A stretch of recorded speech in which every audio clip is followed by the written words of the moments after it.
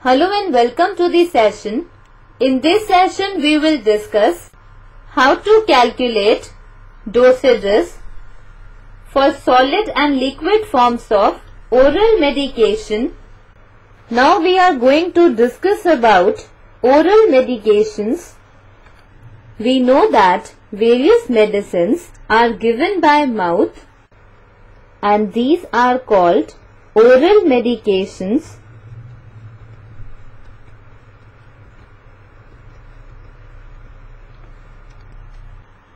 The abbreviation for medication to be given by mouth is PO which is an abbreviation of the Latin phrase per os which means by mouth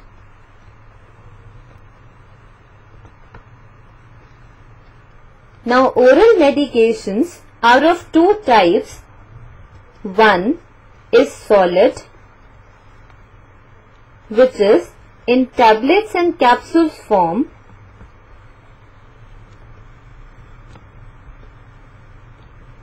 and the second is liquid. Now we shall discuss how to read medication labels before starting that, how much medicine to give to a patient, we must be able to read the medication label correctly. Some points that you should look on the medication label are as below. Now the first thing to be checked is the name of the medication. There are at least two names written on the label and these are trade name and generic name.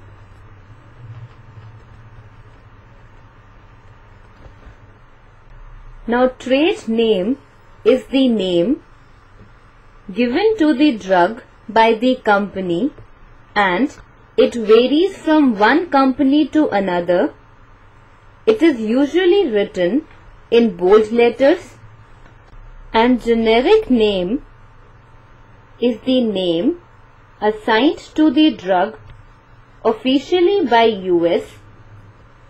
There is only one generic name for each drug. It is usually written in lowercase letters. Now second point to be noticed is administration units to measure the drug for actual administration to the patient.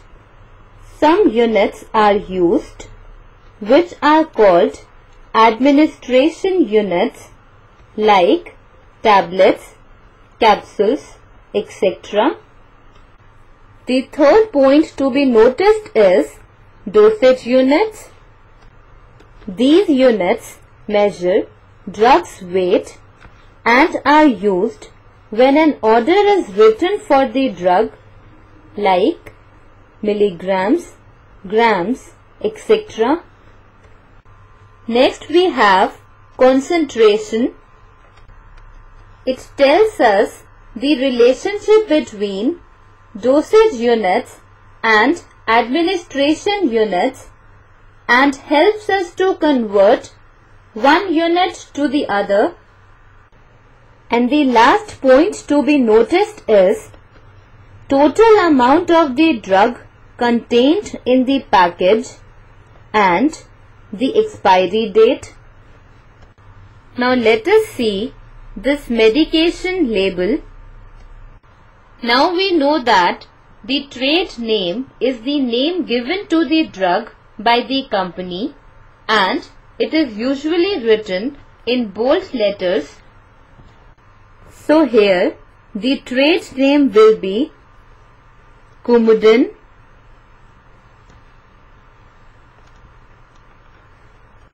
Now generic name is the name assigned to the drug officially by US and it is usually written in lowercase letters. Now in this medication label, the generic name will be warfarin sodium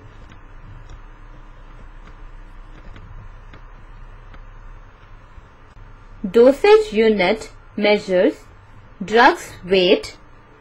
So, here dosage unit will be milligrams. Administration units are used to measure the drug for actual administration to the patient. Here in this label, administration unit will be tablets. Now we know that concentration tells us the relationship between dosage units and administration units. And here we know that each tablet is 1 milligram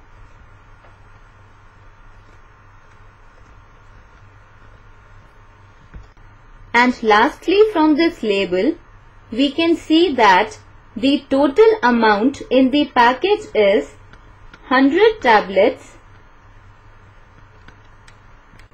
Now we are going to discuss how to calculate the amount of a drug needed to administer a particular dosage.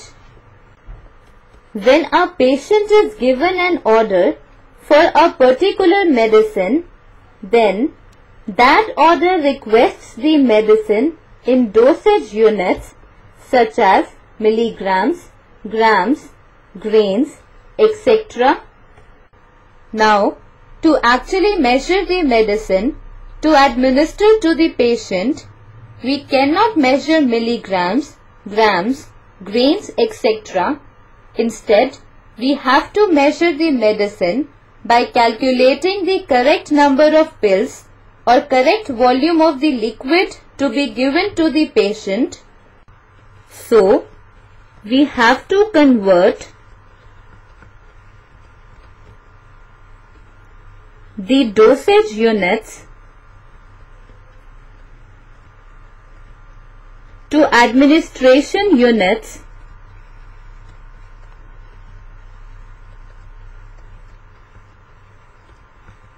before administrating it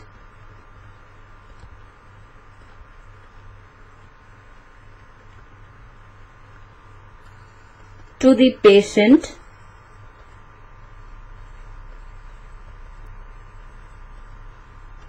Now let us discuss an example which says that calculate the number of tablets needed to administer this given dosage where doctor's order is pentoxifylline 800 milligrams. Here, let us see this medication label. Here it is written 100 tablets. So this medication is administered in tablets. So our answer unit will be in tablets. Now if we look at doctor's order that is pentoxifylline 800 milligrams. Now we have to find that how many tablets will make 800 milligrams. Let it be X tablets.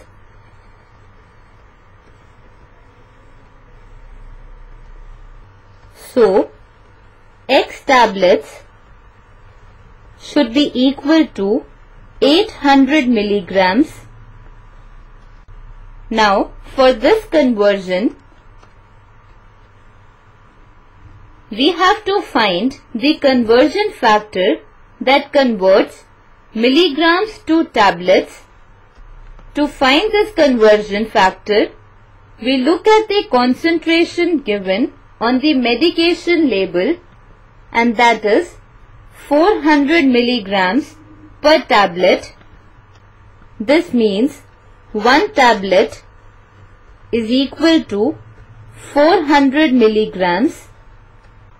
From this equation, we get the conversion factor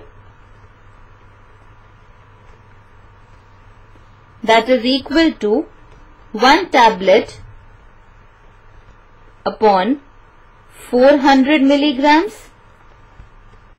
We should note that from this equation we have two fractions